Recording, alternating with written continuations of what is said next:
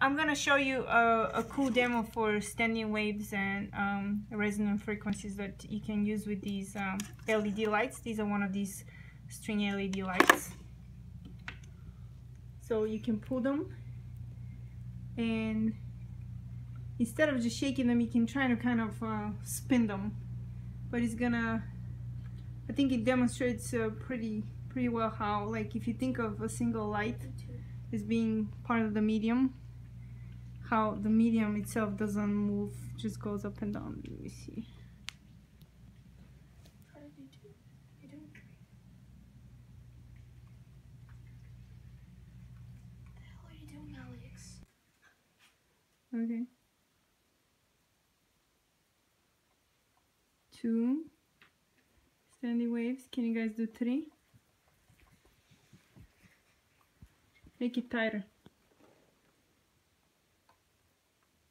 And shake it fast for the three. You're pulling it. No, I can't. You look acting like you're having a seizure. Let me do it.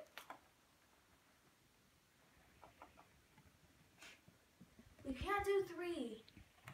The cool thing about this demo is, as you can see from the side, and I'm gonna stand on the side here, is that when you're watching it from the side, it kind of really gives that idea that the wave is passing through the medium, and the medium moves up and down, but it doesn't travel with the wave.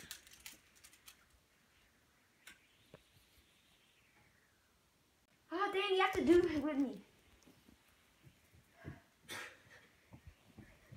Alex, no, you can't do it at the same time because we're different frequency.